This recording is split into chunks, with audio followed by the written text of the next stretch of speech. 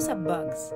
Aquí encontrarás de todo, veneno, control mental y hasta explosivos. Bugs is an immersive, artistic, but still deeply scientific exhibit that seeks to change our relationship with bugs and the way we see them and seeks to inspire awe and perceive as superheroes these critters that we're usually grossed out by or freaked out by.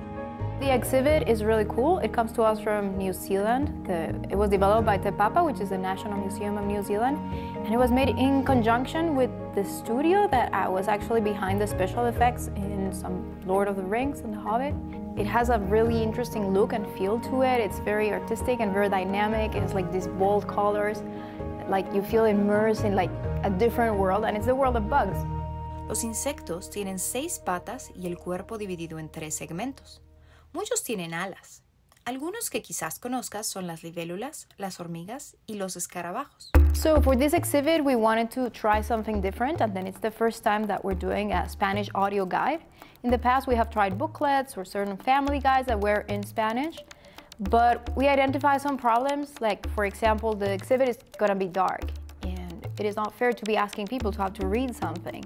We don't want there to be this barrier, so we started thinking like, okay, what, we, what could we do that addresses these problems. And then we we said, well, if we had something that had audio and the text, at least we are providing people with two options, right?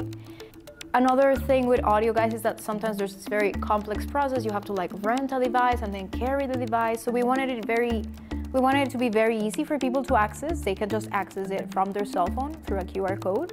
And we wanted them to be able to go to explore the exhibit at their own pace so they have control over that. So we wanted the, the layout of it to be very simple and very user-friendly. Access and inclusion work cannot happen solely in theory and in a vacuum. People whose experiences authentically reflect our community, bringing those voices to the table produces work that is an honest reflection of what our community needs more and more. As an immigrant, I know what it's like to be in a place, feel like I don't belong. And so if through this we can make people feel like they belong because they do, we want people, we want everybody to feel like they belong in our doors, then that just makes my day. Well, science affects the life of everybody.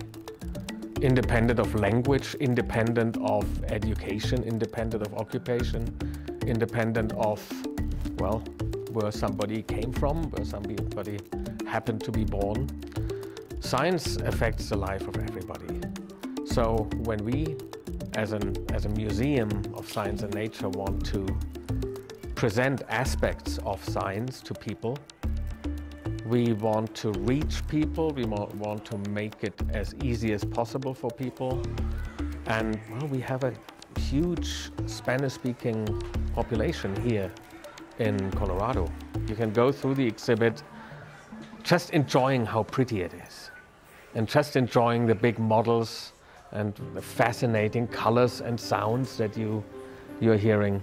But if you want to learn more and you happen to not speak English too well, then you have an opportunity to get the audio guide and, uh, and learn things that way.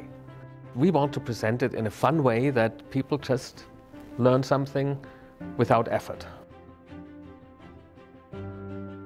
I feel like historically science has been this like mythical creature that is so hard to understand and we all had to go to school and almost like fight it, almost be like, this is so hard, I, I do not understand chemistry, I am failing math.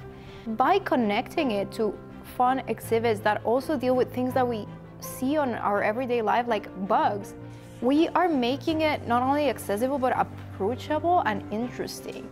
It's like, hey, these are scientists and you can be a scientist too. You in fact are a scientist. Every time you're curious and you wonder about the world, you are becoming a scientist.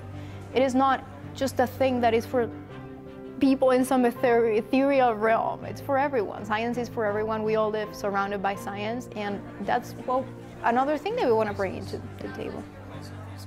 Bugs is here till August, and I would just say I've never seen an exhibit like this. I've never seen an exhibit that presents content in such an adaptive way, whether you're interested in seeing real specimens and reading about them, seeing giant 3D models of scientific content with amazing detailed artistic interpretations, or just interactive games that get you learning about the content kinetically, this exhibit has it all. So long term, the museum is committed to becoming more accessible and becoming fully bilingual. And this audio guide is just like a stepping stone towards that. But there are many other projects that we're committed with. Whenever we are developing a new permanent exhibit that is developed by the museum with museum staff, we, we are looking for it to be fully bilingual, which means that we are incorporating bilingual staff to this work. And we're hoping it can be like a cycle that the more bilingual uh, content that we can have, the more bilingual stuff that we can bring inside the museum, and then that's how the ball gets rolling. Stay elevated by subscribing to the city's YouTube page for these stories and more. And stay tuned to our social media channels for more content. Don't miss our new episodes of Elevating Denver, premiering each month. Thanks for watching, Denver.